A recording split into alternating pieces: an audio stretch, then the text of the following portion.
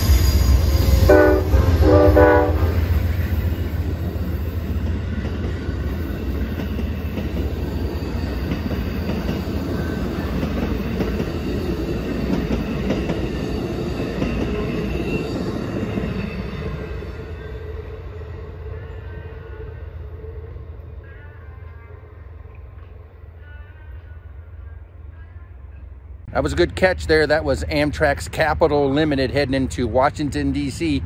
I think that's going to do it here from Point of Rocks, Maryland. And on that note, travelers saying, see you by the rail.